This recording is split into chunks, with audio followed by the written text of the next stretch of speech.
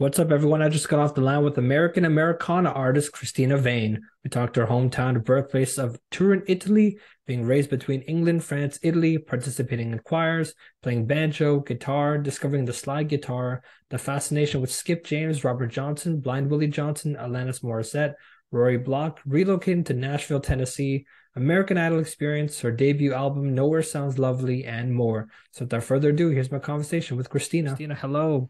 Hi. Thanks for having me. Thanks so much for coming on the show. And uh, I need to start off by talking about because it's not every day that you get to meet people that have been born in different countries. Um, because I was doing some research on you, and you were born in Turin, Italy. Mm-hmm. Yeah. Um, tell tell me about that. Um.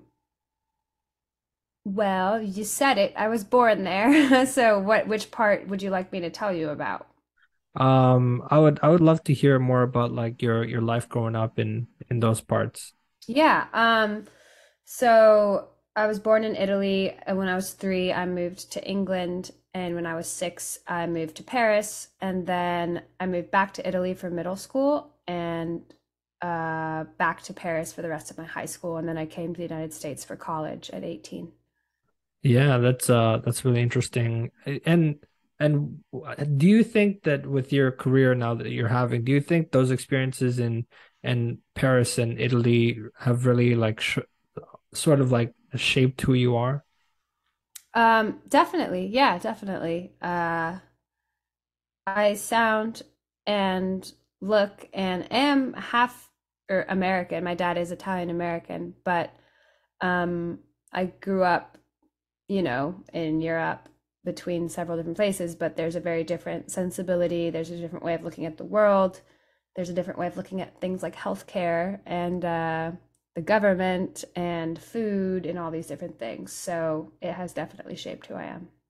Yeah, absolutely. And um, talk to me more about your your musical childhood. Was was music just all around the house for you, and and what kind of uh, people were you looking up to in terms of music? So we listened to a lot of music in my house, but my parents were not musicians. My dad is was a musician when he was younger in the sense that he like played instruments and wanted to be a musical actor. Um, but he didn't pursue that and ended up going into a different sort of trajectory because you know he had a family and he uh, had my mom and him were I think either just newly married or whatever. And so he took a job that took him to took them to Europe and never got to pursue that. But he's extremely musical. And my mom is not musical but she loves listening to music. So I sort of just would sit in the car with them and listen to a lot of their favorite bands. And we went to some shows and things like that. But we weren't like a musical family in the sense that um, we're not in like a family band or anything like that. Um, they always encouraged music and learning instruments and being in choir and being in the school orchestra and that kind of thing. Yeah, and and was was the environment of of being in choir sort of that stepping stone for you to really elevate your your musical knowledge? Um, I think it was mm, probably more the private lessons like piano and then eventually the flute for me. Um, and actually in middle school I went to uh, a a small music school in the town we lived in, like after school. So it had nothing to do with our normal school. I went there for voice lessons. It was a couple, really, called um, Manuela and Alberto Tensi. And the school was called Scuola di Musica Tensi, which is their last name. And it was just the two of them. It was a small building. And he taught music theory in Italian. And she taught voice and eventually i did six months of classical guitar with him and that's like was my first sort of endeavor into guitar playing.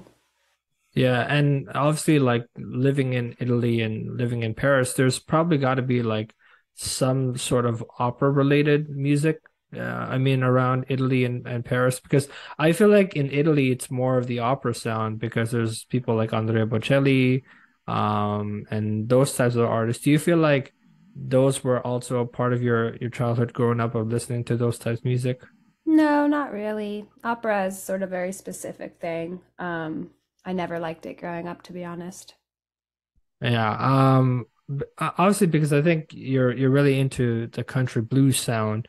Um. Uh, talk to me more about the the musical inspirations in in that realm. Um. So it started with a woman named Rory Block, who is an amazing guitar player and singer. She's still alive right now, so she's more of a contemporary artist. She's a little older, but she um can play pretty much all of my heroes very well. Like she has instructional videos on Robert Johnson, she has tribute albums to Skip James and to Mississippi John Hurt, and that's where I first heard, you know, more of Skip James and got really into the Delta blues stuff through her. And uh, then I found Blind Willie Johnson, I think, by looking up Led Zeppelin's uh, In My Time of Dying, which is basically Blind Willie Johnson didn't write, uh, you know, the original, which is just a traditional spiritual called Jesus Make Up My Dying Bed slash In My Time of Dying. But he was the first to record it. So that path led me to him and I fell in love with both of those people and have continued to just kind of keep digging around. Yeah, absolutely. And obviously, was there any significance of being raised or or growing up in between like England, France, and Italy? Was there just any sort of things that just stuck out to you about living in those parts of the world? Um, in what sense exactly do you mean? Um, like um how do I really describe this? Um, I think it's um, when when you when you're living in uh, places between England, France, and Italy, um, there's got to be a lot of those cultural aspects of uh of of the world, I guess, in a sense. Um, can you talk more about how that sort of influenced um just your life growing up? Um, yeah, I guess I'm not exactly sure. You know, what to touch on. Um, I kind of mentioned some of the stuff with your first question, like just the general approach to public spaces, to public health, um, food, culture is pretty different. Yeah, absolutely. And then also you you moved to the US and at 18, I think. Mm-hmm. Um uh so how's how's that uh that that trek from I guess the move from Paris or Italy, then come to the States to attend college, you said. Mm-hmm. Um, what was what was that sort of like that move like for you? Um, it was a pretty intense culture shock actually, because uh you know, just because I like uh, sound American, especially, um, it was very confusing and they did have like a international pre-orientation for the international students which was literally meant to sort of orient you. Um, they had whole like lectures on how to interpret american mannerisms and things that people say here and um, because you know there's a very specific culture and way of interacting here that's pretty different from europe and the food was like a really big one that still sometimes gets me uh, just because I really love French and Italian food. And I also think um, the sourcing of ingredients can be really good over there. It can be good here too, but things just don't always taste the same. So um, stuff like that uh, was was definitely a learning curve. Um, learning how to party with people that um, had never drank alcohol on their own or were like abusing alcohol. And we had all been drinking in Paris for years at that point. Um, so it wasn't like, oh, let's just get a giant bottle of vodka and drink it warm. It was like you kind of drink it to enjoy it. Of course, people and kids in Paris get drunk and overdrink, but um, it felt like a very different sort of social climate. And party climate in college where it was like a lot about excess and blacking out and all these things where that's like kind of intense and uh, a lot to be doing every weekend. Yeah, absolutely. And I I, I want to touch on something interesting you're talking about. Um, I mean the the transition between uh, the different styles of tastings of food, I guess, in in a sense of uh, when you're talking about Italy and Paris and just a different taste and con- contrast of food um, compared to the US. Um, here in Canada, I mean, like I'm Tibetan and I have like different like styles of food that I, I eat culturally. Mm-hmm. And then at the same time, when I go to a restaurant that is Tibetan, those things like that, I'm saying, man, this does not taste like anything like home. You know, totally. like it just doesn't. Like sometimes I feel like I will say like this this style of food is is so fake, um, in a way. Yeah. And then and then when I go to like you know there's there's like an Italian bakery here, um, and I go there and I'm like, man, this is actually an authentic one because they're not making it like they're. It's not like store bought. Like you know what I mean? It's like they actually make it from hand. You know, it's it's just not something that like usual people do, but I like when people can just make it from scratch and then all of a sudden it's just a fresh type of food, not like some store bought frozen stuff. Mm-hmm. Yeah. Um, and so I want to talk about um, I mean you you worked at McCabe's guitar shop. Um what was what was that experience like? Did that help you sort of navigate into the music world and get you more immersed into that experience? Yeah, uh, definitely. McCabe's Guitar Shop was a huge stepping stone for me. I learned a lot. I found my guitar mentor there who taught me how to play fingerstyle guitar. And I also bought my resonator, which I still play on, and my banjo there, and um, just soaked in a lot of knowledge from the technicians in the guitar shop, from the other sales people on the floor about instruments, about people about history, especially in California and in um, you know, in McCabe's because there is a concert venue. It turns into a concert venue, and they've had some really truly amazing people play there. So kind of just getting all of that was really nice. Yeah, and then you you were just you discovered the instrument of slide guitar um, at the age of twenty. Um, what was it about that instrument that just stuck out to you? Um, I don't even really know what drew me to it. That's the question that sometimes is funny to answer because it's kind of like it's like someone asking like why do you like chocolate? You don't know, you just like it, right? Um and that's how I feel about the slide. I hadn't really I'd heard it, I'm sure, but not really realized that's what it was. I never like singled it out on the Lynyrd Skynyrd songs or whatever where it was probably, you know, first in my periphery. But um, then I saw it live in London with this band called Sam Green and the Midnight Heist. And I was like, that is really cool. And I want to learn how to do that. And so I just Googled it and taught myself how to play slide. Yeah, absolutely. And I, I, I love listening to people like Patti Page. Um, I, I recently got onto it. It was Tennessee Waltz and Mockingbird Hill and I was listening to one of the, I was watching one of the videos on Country Road TV, and like they were playing the steel guitar on it, and I'm like, wow, this instrument just sounds so beautiful in a way. Um, and and it's like I've I've I've heard instruments like the dobro, um, the resonator, and those things like that, but I feel like I'm more drawn to the steel guitar sound of it. Um, I guess. Um, but would there be? I mean, other than the flute and the guitar and the banjo was there just, was there anything that you wish to play that you want to play now um i have uh, i like i tried learning violin in middle school and i really hated it so i stopped and i kind of wish that i had maybe stuck with it just to now be able to fiddle some tunes because uh, it's extremely difficult and it's also demoralizing now so but I kind of am like have my hands full with guitar probably for a lifetime. So I just don't feel like I need to be seeking out new obstacles. Yeah, absolutely. And and when was the when did you move to Nashville, so to speak? I moved to Nashville like in 2018.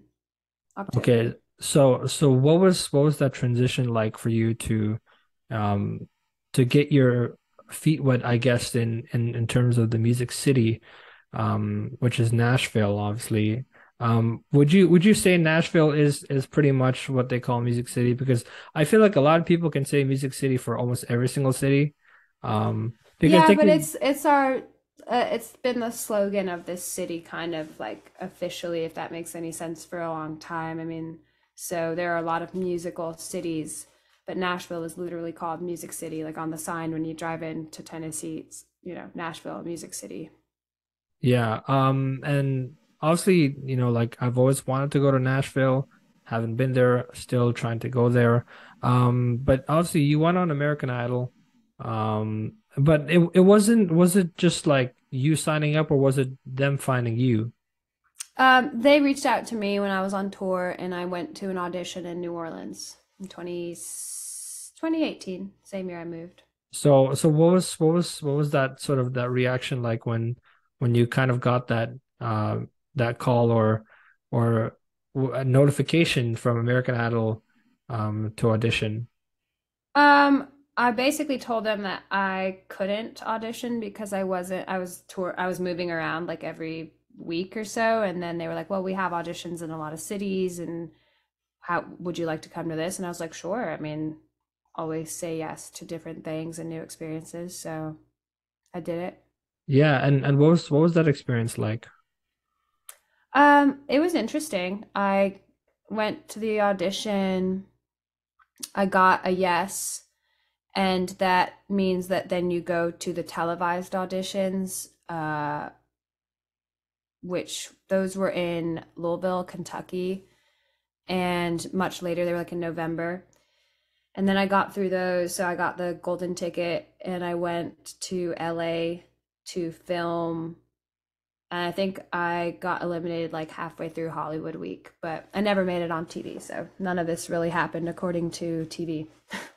Yeah, I like I, I was I was I was kind of weirded out with it because I was kind of like looking for the videos of your audition. Um and it and it just doesn't show. And you're so right about, you know, like when people say that you were supposed to be on TV, but it didn't show you on TV. And it's like this this whole thing. Um, but when when did when did it become a I mean, when did it become abundantly clear to you that you wanted to become a country blues type artist? Um, I don't think I ever wanted to become a country blues type artist, and I don't actually think that I nec- I think that you're not wrong in describing me with those words, but um, I've been pretty adamant to not be called like a blues or only old time player because um, I don't feel that I am. I feel like there's a lot of music I make that is rock based and it has a lot of country blues in it, or my album has a few tunes that are very country blues inspired for sure. And I love that style of music. And my personality online, especially in the covers that I do on Instagram, are heavily skewed in that direction because I take a lot of influence from it. I love that style of music, I love that style of playing. Um, so it's going to seep into my music, but I don't really consider myself purely country blues because then where is there room there for, you know, banjo songs or rock songs or hill country or country, which all of which have kind of appeared at different points in my albums. Yeah, absolutely. And and obviously your your debut album I want to talk about, Nowhere Sounds Lovely. Um walk me through how that uh how that came together. Um, I had just gotten off the road and I wanted to make an album when I moved to Nashville. And I had a few different producers that I was talking to. Cactus was one of them, and I really loved the uh, the last thing he had done for Wynonna, which had a, a very heavy mix of like Appalachian folk style with some like rock. And that's kind of exactly to my point just now what I was looking for someone who could blend all the things I liked and all these new things that I was getting really into with, you know, just rock, which is what I grew up with. Um, so yeah, so I asked him if he'd do the album. He said yes, and I recorded it, and then I put it out. Yeah, that's uh that's really exciting, and um, was, you yeah. you also you also have this um this tenuous relationship with the identity and place, so to speak. Mhm. Um, what what is that about? Um, it's because I moved around a lot and I have a lot of identities and places that I claim that, you know, don't necessarily claim me. Um, and a lot of people are from one place or born and raised in one place, and I certainly am not. So that's that. Yeah. Um, do you do you feel like you you still have that sort of that battle between the relationship of identity and a place? Yeah, I don't think it, it will ever go away because I will always have had the upbringing that I had. Yeah, absolutely. And and obviously we we're we're talking about um you you didn't want to be described a, a country blues type artist, but you said you have more of the rock style, country rock style in your music. Um, but how do you how do you really define genre? Um, I would call my music Americana because it allows room for all of those things. Yeah, I, I, I feel like it, it would definitely be Americana. Um, because I feel like a lot of people can get that confused sometimes with different artists. I know Clint Black, I remember watching one of his videos and he explained his story of becoming a country artist and he went to this, I think this rock concert, I think was Shotgun Red, and he said, um, one of the band members says, Oh no, you're not, you're not rock, you are country. Um, and so do you do you feel like a lot of people kind of get that mixed up with with you being a country blues artist rather than a country rock artist? Uh, so I wouldn't really call myself a country rock artist either. I don't play a lot of country music. Um, country blues is not country and blues. I mean, in, a way it is, but it's like its own specific sound, which is a little bit different from the Delta blues sound, but it's it's a kind of blues music. Country rock, I guess, would mean somewhat country, somewhat rock. I don't really play country music very much. Um, I would again just call myself an Americana artist. Yeah, right, right. And and so um this is this is such an interesting thing. I mean, a lot of people um I think feel afraid to to talk about um their sense of belonging or you know identity battles. Um but do you feel like you've you've now established that identity for yourself of of being that Americana artist? Um, yeah, I just honestly, I don't really worry about it. And, you know, if someone like you wants to discuss it, I'm happy to discuss it. But like, I uh, I just make music, so I'm really a musician, and I leave it up to you know PR, to the album, to the producers, to worry about genre. But my my my albums have a lot of genres in them, um, and I have a lot of uh, people that I look up to that make different kinds of music and play different instruments and I just don't really care to be honest. Like uh you know I, I there obviously is a tangible and important real world sort of label that people use to differentiate between things but my music's very multifaceted so it kind of just depends on which song you're listening to. And most people honestly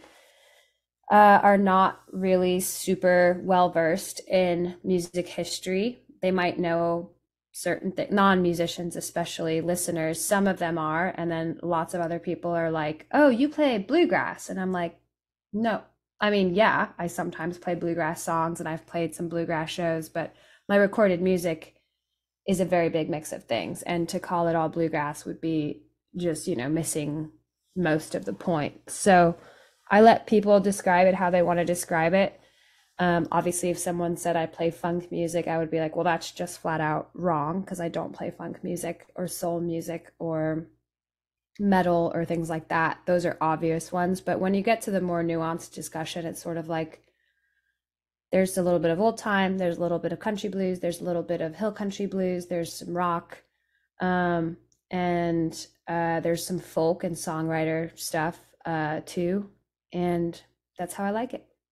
Absolutely, absolutely. And um, I wanna I wanna also um, just uh, wrap up with a few questions. Mm-hmm. And um, I mean, now that like you've really described um, who you are as an artist, I want to know um, what is your happy place?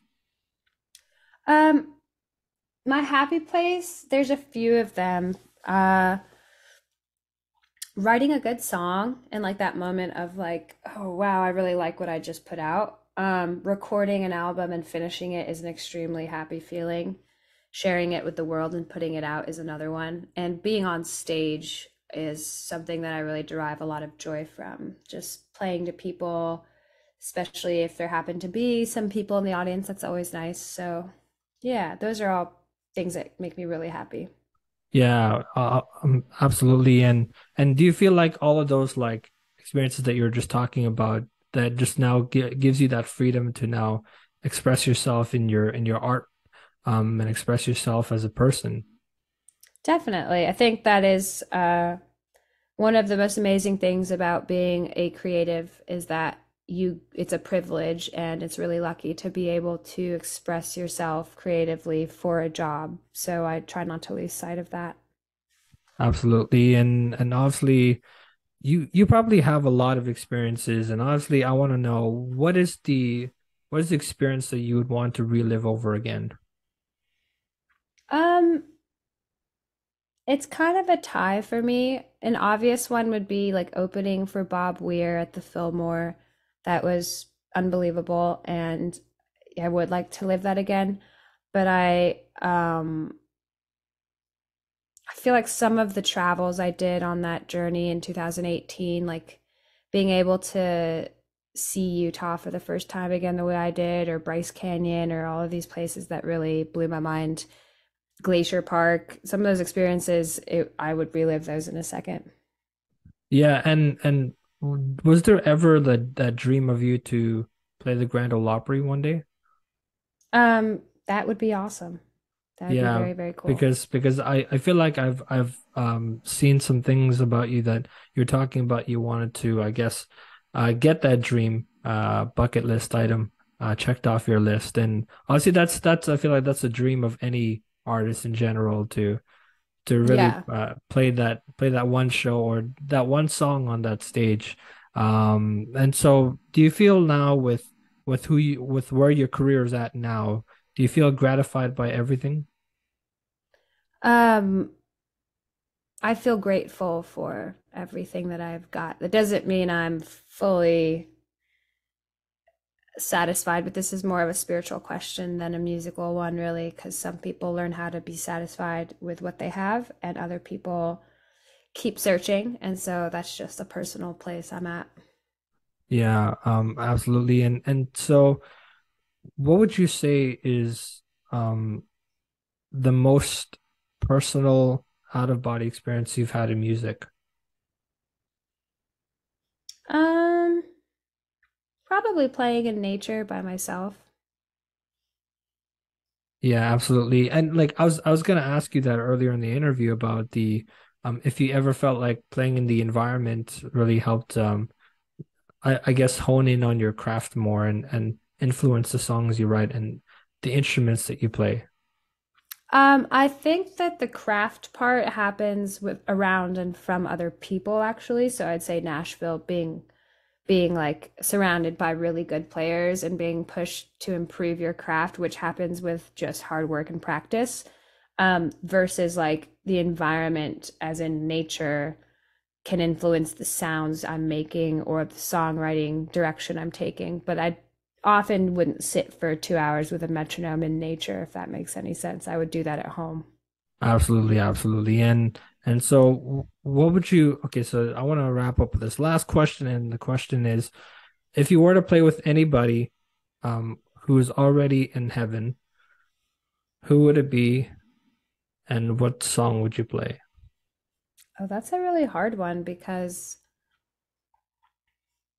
I mean, I would really love to meet Blind Willie Johnson. I would really, really love that. And I would love to play any of his songs. I've done I've had to learn quite a few because I did a Blind Willie Johnson tribute a few years back, and um, if if any of these people would play with me, that's like more what I would be worried about and be intimidated by. But if that's not part of the equation, then I would say Blind Willie Johnson probably. He seems like um, an unbelievable person, and May- and Jessie Mae Hemphill too. She seems like a lot of fun, and she had so much style and rhythm and really cool riffs. So one of those two guys, gals, people.